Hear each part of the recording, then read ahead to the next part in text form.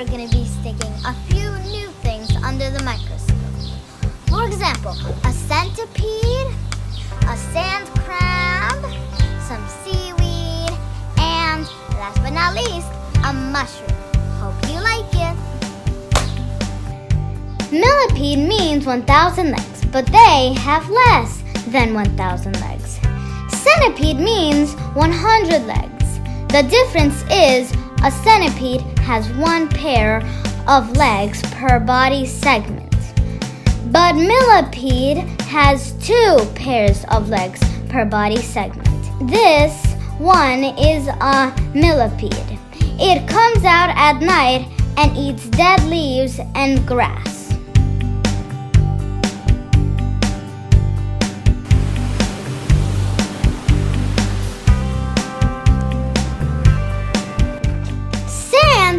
Have hard shells, but no claws. They cannot bite or pinch you. They bury themselves in the sand where the waves break and leave their eyes above the sand. Some people fry them and say they taste great. They catch plankton with their antenna and they dig the sand with their back legs, so their eyes stay above the sand.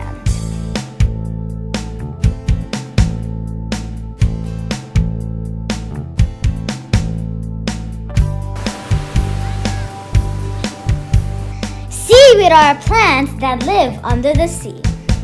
They can be green, red, or brown. The deeper the seaweed lives, the darker its color. This sea lettuce is green and it has a lot of chlorophyll. And it needs a lot of sunlight and air. Plants use chlorophyll and light to make food. Chlorophyll is basically what makes plants green. This seaweed, I'm not sure what it is, but it also needs a lot of sunlight too. Are mushrooms fruits or vegetable? Well, guess what? They're not even plants. They are fungi. Fungi digest foods like animals using enzymes. But they grow like plants. Edible mushrooms are delicious, but there are many poisonous mushrooms. Guys, be careful because if you go into your garden and you find some mushrooms, you never know if they're poisonous or not. We don't have any proof about how you know if it's poisonous or not. Don't even touch them. Okay, guys, hope you like it.